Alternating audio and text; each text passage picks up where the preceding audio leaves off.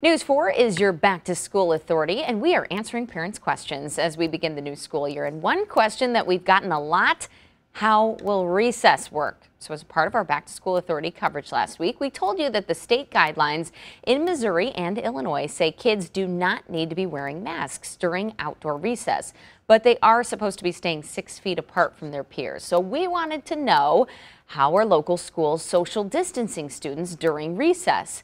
Fort Zumwalt went back to school this week, and the district says that principals divided playgrounds into different zones for recess. Each class is assigned a specific zone, and those change weekly so that students can enjoy different activities while they're outside. Let us know what questions you'd like us to get answers to. Just go to kmov.com slash school to submit your question.